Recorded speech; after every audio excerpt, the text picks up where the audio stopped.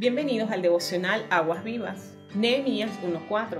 Cuando oí estas palabras me senté y lloré, hice duelo por algunos días, ayuné y oré delante del Dios de los cielos. Esta es la oración de Nehemías al saber que los muros de Jerusalén estaban en ruinas y sus puertas destruidas por el fuego. Él no fue indiferente ante una tragedia, tampoco cayó en depresión. Él intercedió por un pueblo. Ahora, ¿qué espera el Señor de nosotros ante una situación como esta? Y es que en ayuno y oración podamos reconstruir familias, ciudades, naciones que han sido devastadas por el enemigo.